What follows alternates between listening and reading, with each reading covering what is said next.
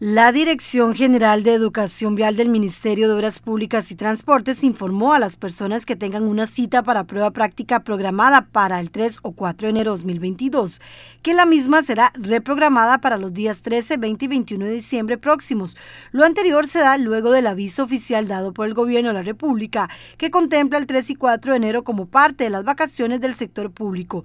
De esta manera y con el fin de no atrasar el proceso de acreditación de más de mil usuarios que tenían la prueba programada para esos días, se hicieron los esfuerzos necesarios de coordinación para adelantarles el día de su cita y que puedan aplicar la prueba este mismo año, por lo que las sedes de Pérez León y Río Claro en la zona sur para esos días se estarán trasladando. Las citas del 3 de enero se trasladarán para el 20 de diciembre y las del 4 de enero para el 21 de diciembre. Se mantiene la misma hora. Por ello, se les solicita a los usuarios verificar los datos de su matrícula reprogramada a partir del próximo viernes 10 de diciembre, ingresando a servicios.educacionvial.geo.cr y digitando su número de cédula. Se aclara que las citas del 5 de enero y demás días no experimentarán cambios, se mantienen igual según lo programado.